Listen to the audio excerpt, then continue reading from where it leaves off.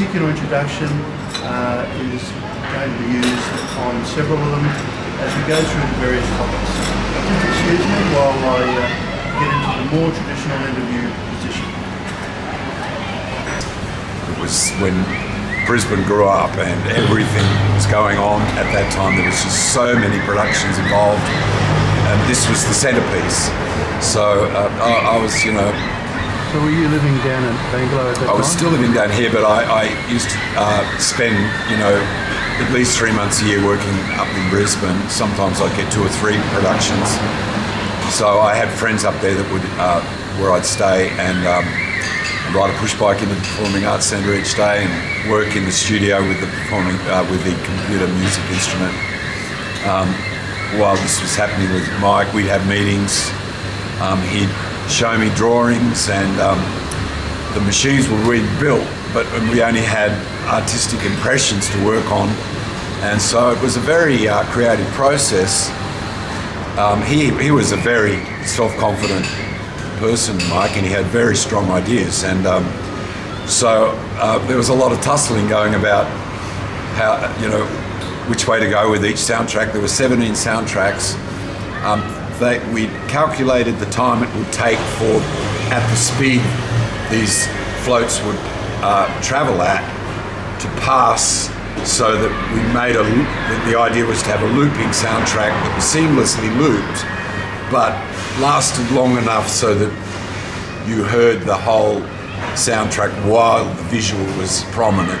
And then the next one would come up. So there was a bit of an overlap. It was a, a very challenging job to come up with both appropriate soundtracks for these bizarre and quite wacky, some of them, um, animatronic art pieces uh, that, um, you know, enhanced the visual and um, helped convey the message that the artist was trying to convey, which was obvious, in many cases quite abstract or and as I said before, there were um, some pieces were quite lyrical, and um, you know the, the unicorn one is one that stood out because it was illu- the, parade went both day and night, so it was illuminated at night.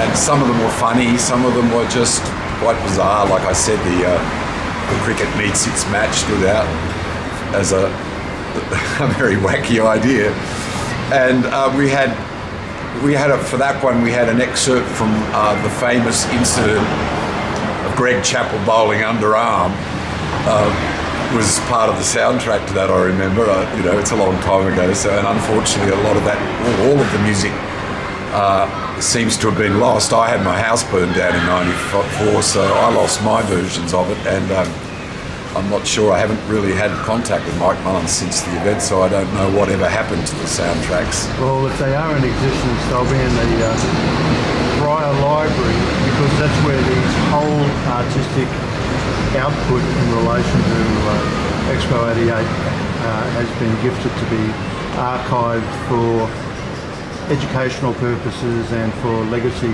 purposes. Um, and I'm assuming that that Mike chose it because he knew that uh, Sir Llew Edwards has gifted his whole uh, collection, uh, not only his expo stuff, but his whole life effectively, um, into the Fryer Library. So um, it's there for people to, uh, to see, but I, to be honest, I don't recall seeing any reference to the audio.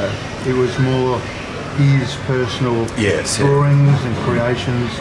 Um, Yeah, it was very much a Mike Mullins retrospective, in a sense that, that and, and I mean, you know, there was so much and I, I, I guess that's where his primary focus was on. He was in the visual arts field, and my job was to provide the audio. But he had strong input for that. I remember even with the unicorn. Um, uh, it, we had quite a. I remember he made a great suggestion there, and we ended up slowing down one of the, the soundtracks to uh, half speed, and so that you know he had quite a bit of input into the, the musical content, and he was. So all this work, this was obviously done prior to the opening of Expo. Oh yeah, yeah. It, was all in the um, building up period when when. Um, So that must have been incredibly hard to you to try and visualise the impact upon a crowd that you had no idea as to how large it was going to be, or how much love that audience was going to uh, lay onto the uh, creative process you were involved in? Well, I knew it was going to be a really unique event. Uh, I didn't really grasp the scope of, of Expo and its uh, amazing things that were presented there. But um, I, uh, I even just the, the name, the Qantas Light Fantastic um, Parade, had to live up to that. And um,